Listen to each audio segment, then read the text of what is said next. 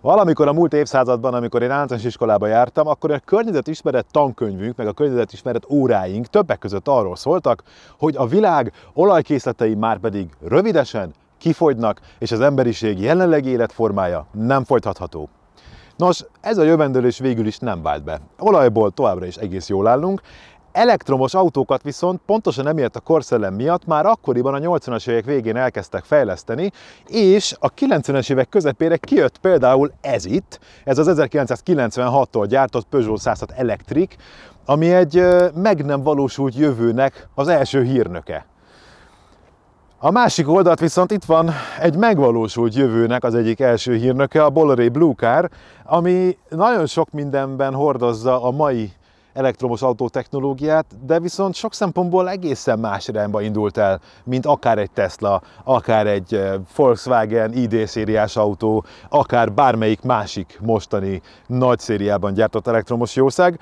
Úgyhogy eh, mind a kettőnek megvan egy ilyen kis sufni bukéja, mert más, mint amihez hozzászoktunk, és abban is nagyon hasonlítanak egymáshoz, hogy egyiket sem ismeri igazán az utcanépe, miközben mind a kettő tök jó használható elektromos autóként, csak egészen más dolgokra kell figyelni. Úgyhogy Isten hozott mindenkit a kifogyott olajkészletek steampunk jövőképében, amikor már mindenki elektromos autóval közlekedik, és még akkor is azzal jár, hogyha 30 év körüli francia autót kell a sufniban tuningolnia, vagy ha csak valami kis Szíriában épült, egyedi tervezésű autóra van pénze egy ismeretlen gyártótól. Ez az az elektromos autó, amiről sokan ábrándoznak, hogy a régi autójukat át lehetne építeni elektromosra, és akkor nem kéne küzdeni az elmúlt 30-40-50 éves technológiával, hanem helyette lenne egy megbízható elektromos technológiájuk, egy igazi, jó értelemben vett sufni tuning, valami, ami otthon készült, és azt gondolom, hogyha valóban kifogyott volna az olajkészlet, ahogy azt jövendölték, akkor jóval több ilyen szaladgálna az utcákon ma, hiszen a régi autókat valahogy meg kéne próbálnunk üzemben tartani. Ezzel szemben a Bolloré, hát ezt a nevet nem véletlenül nem ismerjük, az autógyártásban egy teljesen ismeretlen cégről beszélünk, aminek gyakorlatilag ez volt az egyetlen próbálkozása, és most már sejtjük, sőt nagyjából biztosnak tekinthetjük, hogy valójában itt sem az autó érdekelte őket, őket kizárólag az érdekelte, hogy az egészen spéci akkumulátor technológiájukat kipróbálják, és a legtöbb tesztet úgy lehetett lefuttatni rajta, hogyha emberek autómegosztó szolgáltatáson keresztül teljesen maguktól még fizetnek is érte, hogy használják, és így gyűjtsék a tesztkilométereket. Legjobb tudomásom szerint 100 milliós nagyságrendben futották a kilométereket a bolorék, a különböző városi autómegosztó szolgáltatások keretein belül, és mivel egy ilyen szolgáltatásban teljesen normális, hogy szimkártyákon és adathálózaton keresztül megy vissza az adat a központban az autóról, ezért ez a sok-sok kilométer mind-mind-mind adatformájában a Bolorénál csapódott le, akik aztán, amikor a kísérlet véget ért, egész egyszerűen túladtak a flottán, ma már egy másik nagykereskedő foglalkozik a megmaradt és még használható autók értékesítésével, ők pedig az így már bizonyított és kifejlesztett akkumulátor technológiájuk árusításával próbálnak hasznot húzni. A Bolloré Blue Car fenekén hatalmas felirat jelzi, hogy a Bolloré tulajdonképpen csak az elektromosságot adta ehhez az autóhoz, az autó részét a nagy nevű Pininfarina stúdió tervezte nem csak a formatervét, hanem itt szinte gyakorlatilag az egészet. Legalábbis én így értelmezem. Ennek ellenére nekem pont nem az elektromos részével van a bajom, hanem az autósságával. A kulcsmomentum az az, hogy bár nagyon magas építésű a Blue Car, ennek ellenére alig marad a fejem fölött hely, annyira fönt van az ülés, és ebből aztán egy csomó probléma keletkezik, mert például hiába kerül ide egy plusz ablak az A-oszlop ketté választásába, mivel a fejem, fejemmel egy szintben ez az ablak már nem tart, így én ebből legfeljebb az aszfaltot látom, a gyalogosokat a járdán, vagy a többi közlekedőt kanyarban nem, úgyhogy egy ilyen nyomtatóló szerűen csak előre tudok igazán kényelmesen nézni belőle, Oké, okay, ez sok más 2010 körüli autóban is így van, különösen az egyterüknél volt ez komoly probléma, hogy a túlságosan vastag alhoztop kitakarta a forgalmat, de amikor valamit tiszta lappal terveznek, ráadásul a viszonylag könnyen elhelyezhető és kicsi elektromos komponensek köré, akkor ennél jobbat várna az ember, hiszen tudták előre, hogy lesz benne egy akkumulátor, és hogy ez lent lesz a padlóban, és mégis nagyon feljött a padló, és mégis nagyon magas az ülés, amit aztán rátettek a padlóra. Azt már nem is mondom, hogy ez az ülés ráadásul viszonylag kényelmetlen, bár ebben valószínűleg az is szerepet játszik, hogy ezt nem elsősorban magánhasználatra tervezték, hanem autó megosztó szolgáltatók számára. A kárpítozás is egészen meglepő, hogy ebben rendes szövetkárpit van, ilyen olasz stílusú fiatszerű kék, mert egyébként a legtöbb Blue a műszerfalon látható szürke műbőrborítás takar mindent, az ajtót is, meg az ülést is. Ez nyilván nyáron elég kellemetlen, de cserébe egy könnyen tisztítható, eléggé tartós kárpit. A Bolloré Blue Car lényege a Bolloré féle akkumulátor, ami egy lithium metár polimer, LMP rövidítésű technológiát tartalmaz, és ez más, mint amihez bármelyik másik mai elektromos autóban hozzászoktunk, ennek van egy óriási nagy hátránya. Ez az akkumulátor csak akkor működik, hogyha 80 Celsius fokra föl van fűtve, és egyáltalán nem szabad hagyni kihűlni, akkor sem, amikor éppen nem akarjuk az autót használni. Ez azt jelenti, hogy ott alul az akkumulátor csomag körül most ebben a pillanatban is fűtenek a fűtőszálak.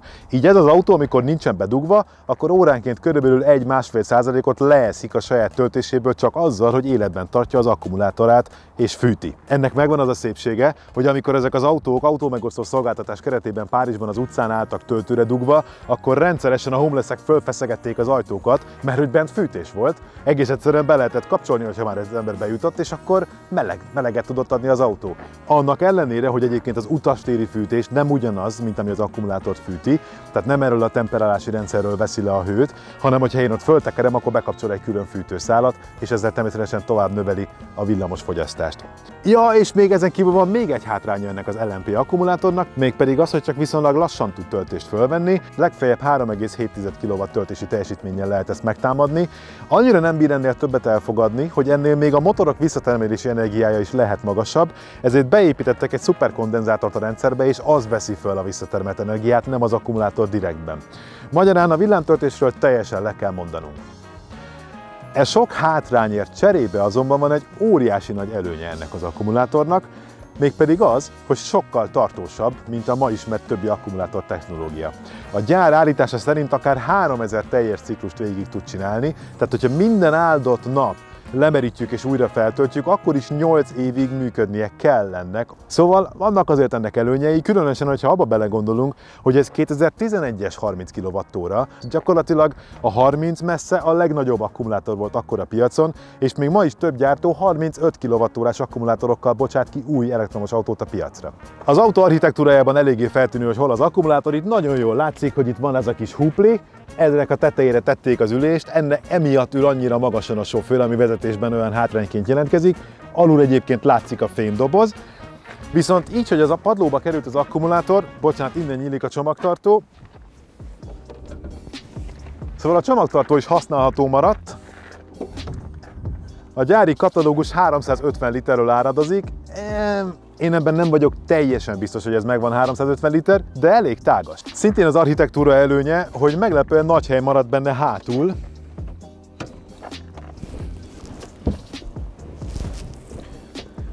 A magamra beállított vezetőülés mögött, hát ugyan keresztbetett lábbal, de elférek. Tehát, hogy a térdem nem ér oda, az egyetlen hátrány, hogy a magas padló miatt annyira feljön a térdem, hogy nem annyira kényelmes, de hely az van, azt kell, hogy mondjam, hogy tulajdonképpen ez egy teljesen valódi személyes. A töltő ajtajának megoldásából viszont szerintem elég jól látszik, hogy ez egy egyedi építésű autó, amit nem feltétlenül magánpiaci felhasználásra szántak. Eredetileg a Bolerétól csak bérelni lehetett, vagy pontosabban leasingelni ilyen autót. Megvásárolni csak most lehet, hogy már egy kereskedő birtokolja a megmaradt flottát. Ugyanis úgy adották meg a dolgot, hogy egy ilyen ajtó mögé rejtették az egyébként Type 1-es csatlakozót, tehát még nem a mai európai szabvány Type 2, az autóhoz természetesen tartozik olyan kábel, aminek ez a vége Type 1-es, a másik vége pedig Type 2-es, de ez azt jelenti, hogy a mostanában terjedő gyors hálózaton a kutakra épített csatlakozókat ide nem fogjuk tudni bedugni, de ez abban a szempontból nem baj, hogy mivel úgysem tud túl nagy töltési energiát felvenni, ezért aztán az ilyen utcai töltőoszlopokon nem is igazán éri meg tölteni. Ez akkor működik jól, hogyha saját magunk töltjük otthon. És ezt azzal segíti, hogy ennek a kis ajtónak itt van egy része, ahol a kábel ki tud jönni akkor is, amikor ez csukva van, így nem megy be az eső. Bár manapság sok elektromos autó falmotoros, a Bolloré Blue Car meglepő módon megmaradt a fronthajtásnál. Gyakorlatilag itt elől a motortérben van elhelyezve minden, ugyanúgy, mint hogyha benzinmotoros lenne. Ott alul van keresztben az elektromotor, mögötte van az egysebességes váltó és a kihajtás, oda megy be két hosszú kardán az első kerekektől. Tehát egy teljesen klasszikus kisautós hajtásképletet rajzoltak fel a papírra, amikor ezt megtervezték, és én úgy látom, hogy viszonylag könnyű lenne ezt szerelni, nagyon jó hozzáférhetőek egyébként a hellától származó lámpák, tök jól hozzáférhető minden, amit után tölteni vagy ellenőrizni kell. Olyan rend és tisztaság uralkodik ebben a motortérben, persze most, hogy ez egy ilyen nagyon jó állapotú eladásra szánt szinte új autó. Azt azonban tudni kell, hogy nagyon kevés van, ami nem szürke. Ez, ez a konkrét például ugye fehér, de a legtöbb, a 90%-a a személyautóknak egy ilyen viszonylag egyszerű szürke színben van fényezve, és pirosra pedig a kétszemélyes teherszállító változatot festették, de a technológiája gyakorlatilag mindegyiknek ugyanaz, ugyanazokkal az akkumulátorokkal és motorokkal találkozunk. Tulajdonképpen ez egy használható autó. Már olyan értelemben, hogy egyrészt nem tűnik úgy, mintha szét akarna esni alattunk, másrészt nem tűnik úgy, mintha le, le akarna esni az útról. A katalógus szerint 120 km óra a végsebessége, én autópályán mentem vele haza és jöttem aztán be most vele forgatni, ezt a 120 simán viszi is, és ennél a tempónál sem volt egyáltalán semmi para, tehát, hogy stabil a kormány, jó az egyenes futás, nem löki oldalra a szél, amikor egy kamion elmegy mellette. Tehát, hogy nincsen semmi gond. Nincsen semmi olyan rém történet, amit az ember kitalálna egy ilyen autóhoz. Az azonban tény, hogy amikor először vezettem ilyet, az egy magánember boloréja volt, míg ez a forgalmazó kereskedőjé abban az autóban én nagyon komfortosnak, szinte már hintósnak éreztem a rugózást, míg ebben kifejezetten spröd, úgyhogy elképzelhető, hogy nem mindegy, hogy milyen és mennyire új benne a lengéscsillapító, de a stabilitásával semmi baj nincsen. És ugye olyan rettetesen gyorsan nem mentünk, hiszen az autó végsebessége alacsonyabb, mint a megengedett sebesség. A fordulóköre viszont nagyon jó. Hiába első kerékhajtású, ennek ellenére nagyon jól kitérnek a kormánykerekek, és egész kisen meg lehet fordulni a boloréval. A városi talajon a gyorsulása is megfelelő, ezzel vidáman el lehet közlekedni. Nyilván nem egy Tesla élmény, hiszen nominálisan mindössze 35 kW a teljesítménye, padlógáz esetén ezt tudja 50 kW-ra föltornászni 30 másodperc erejéig. Még az is csak 68 lóerő, és bár úgy tudom, hogy alumínium vázra, alumínium és műanyag elemekből építették az autót, azért még így is 1,1 tonna tehát hogy ez a 68 lóerő viszonylag jelentős tömeget mozgat, de hogy mondjam, tehát hogy amit egy városi mászkálós autótól elvárunk, az teljesen hibátlanul tudja. Szóval a Boloré, mint elektromos jármű, nagyon is erős versenyző, és abszolút helye van ezen a piacon, és aki futárkodni vagy mindennapi városi járásra keres autót, nagyon is érdekes megoldással lelhet ebben az autóban, hogyha megfelel az ő körülményeinek a felhasználási profilja, és, és a legtöbb ellenfelét gyári állapotokban simán lenyomja. Viszont ott van ugye a gógyi, hogy a gyári állapotot nem kötelező megtartani, az akkumulátorokat, az invertereket, a vezérlő elektronikát akár ki is lehet cserélni modernebbre, ahogy a 106-os Peugeot tulajdonosa csinálta. 1996-osnak mondjuk ezt az autót, de valójában a benne lévő motor technológia még ennél is egy kicsit régebbi, mert már a Citroen AX-ból is csináltak elektromosat, és tulajdonképpen annak egy picit módosított változata került be ide.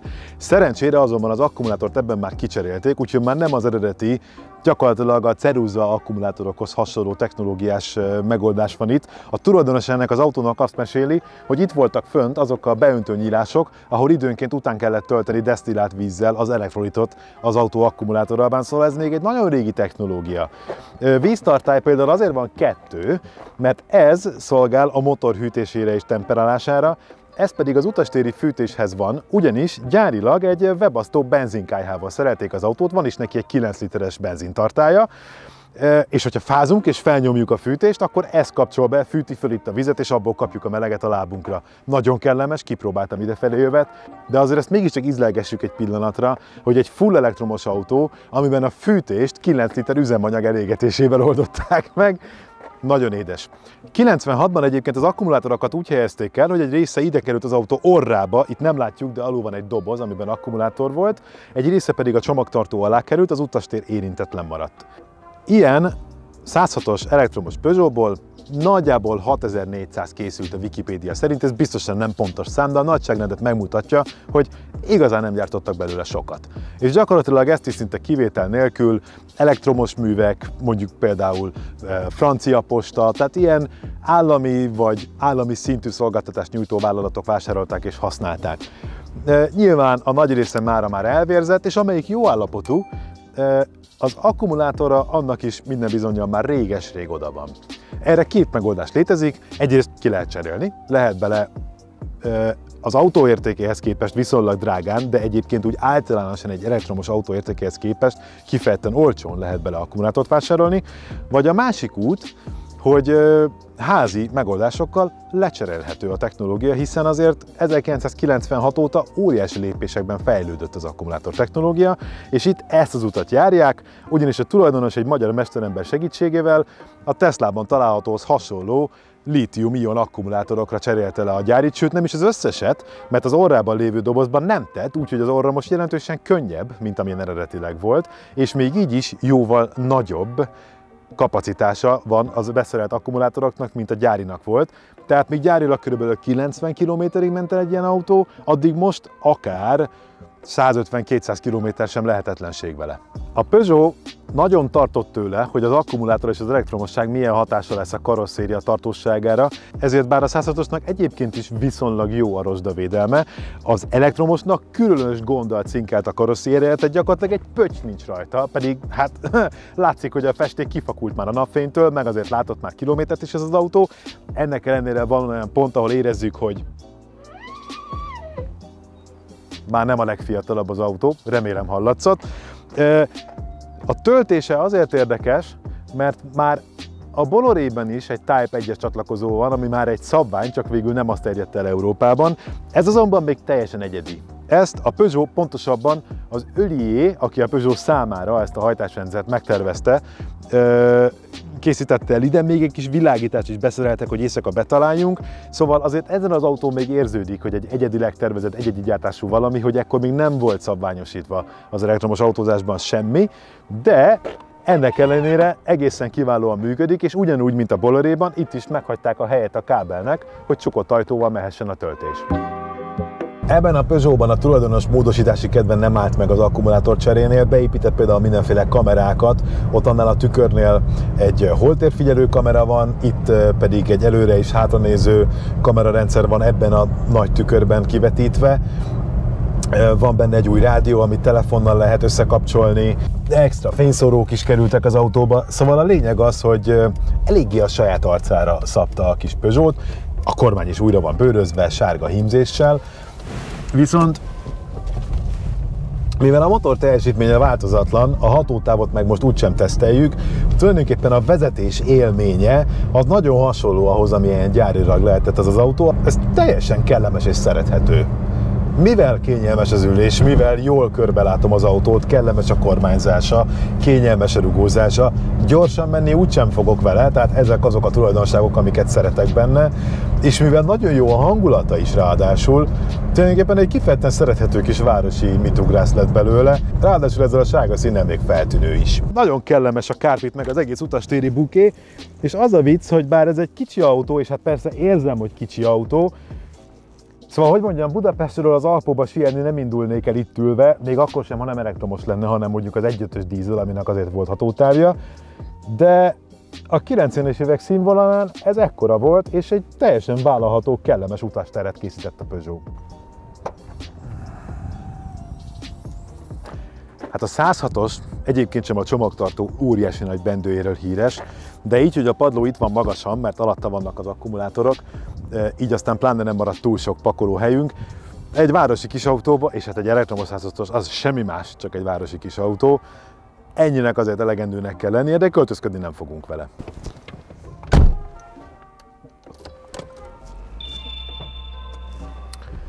Itt egy katarás jelzi, hogy menetképes az autó. Ez a hang, amit most hallunk, ez annak a kompresszornak a hangja, ami vákumot csinál a fékpedál számára, hiszen ugyanúgy egy vákumos fékszervó van ebben az autóban is. A tulajdonos csinált egy kikapcsolót hozzá, hogyha nem akarná ezt a kompresszort hallani, de hát valójában fékre szükség van, mert ugyan ez a motor nagyon jól termel visszaáramot, és egész jó a fékereje, azért a végső megálláshoz mégiscsak szükség van a pedálra. Ami még érdekes, hogy itt semmiféle irányváltó kart nem találunk. A Peugeot azt találta ki ehhez az autóhoz, hogy amikor beindítjuk, akkor egyből előre menetben van, ha most megnyomnám a gázpedált elindulna, persze nyilván kézifék kiengedése után, és ezt a gombot megnyomva tehetjük rükvercbe. Majd újra megnyomva, megint előre menetelbe, és itt a műszerfanon jelzi nekünk, hogy éppen merre tart az autó. De alapvetően ez mégis egy autószerű autó, tehát kellemes mélyen ülök, a kormány ott van, ahol számítok rá, a bajusz kapcsolók pontosan azt csinálják, amire számítok tőlük. Úgyhogy ez egy 106-os, csak egy kicsit másképp mozog, mint a többi. Érdekes kérdés azonban, hogy megéri-e ugyanis a Peugeot 106 mivel nem olyan rettetesen zabálja a rozsda, és a motor, motortechnikája is viszonylag tartós volt, olyan rettetesen sok extra pedig általában nem vásároltak bele a tulajdonosok, ezért egy meglepően könnyen fenntartható kis autó, még öregen is. Nyilván ez csak egy általános mondat, amiből mind a két irányban vannak kilógó kivételek, de a lényeg az, hogy mondjuk egy fél millió forintért már tudunk olyan 106-ost vásárolni egy kisebb benzinmotorral, ami igazán nem kér sokat enni. Nem fogyaszt túl sok benzint, nem kell túl sokat költeni a karbantartására, és ennél akár picit gyorsabban is lehet vele közlekedni, és ugyanúgy város környékén tudunk jönni-menni. Nyilván a fogyasztása jelentősen több pénzt emészt fel, mint egy elektromos töltés, ez teljesen világos. A Bollerét árusító kereskedő elmesélte, hogy van egy pizzéria az ügyfelei között, akik a futárjai számára állítottak be egy Bollerét, és miután sikerült megtanítaniuk a futároknak, hogy hogy használják, hogy kihasználják mind a 250 kilométeres hatótávot, utána konkrétan nagyjából havi 100 ezer forintot spóroltak üzemanyag költségen ö, a korábban használt futár Swifthez képest, pedig az sem egy nagy fogyasztású V8-as. Tehát igenis valódi forintot lehet megspórolni egy elektromos autó rendszeres használatával a város környéki autózásban, ez nem is kérdés. A kérdés az, hogy mekkora a belépő. Mert hogyha azt mondjuk, hogy van egy félmilliós 106-osunk, és van mondjuk egy 4 milliós bolorénk, Oké, okay, hogy a Boloré biztonságosabb, oké, okay, hogy modernebb az elektronikai kialakítása, de azért azt a 3,5 millió forintot sose fogja visszahozni csak üzemanyagból, hát kivéve akkor persze, hogyha a napi szintű futárkodásra használjuk, és mondjuk nem egyben fizetjük ki, hanem költségként egy leasing díjjal. Szóval ez egy nagyon-nagyon egyedi matek, ezt nem lehet általános érvényűen megmondani, hogy megéri-e egy ilyen elektromos autó. De akinek kiadja, aki úgy érzi, hogy vissza tudja hozni az árát, vagy legalábbis megéri, mert a havi költségei meg a napi költségei annyival alacsonyabbak lesznek.